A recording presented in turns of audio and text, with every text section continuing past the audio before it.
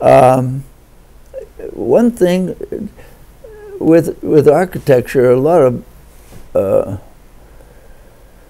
architects rely on the the experiences they've had through their lives, and and uh, you doesn't you you could look like uh, at Notre Dame and get an idea, you know, or a Greek temple or whatever, or a mud hut in, in um, Africa, whatever.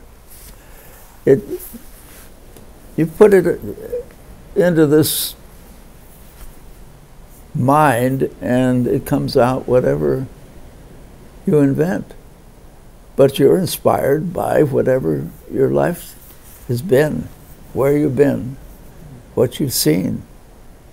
You can't help but be inspired by the beauty of other architect, architecture, or nature in any form.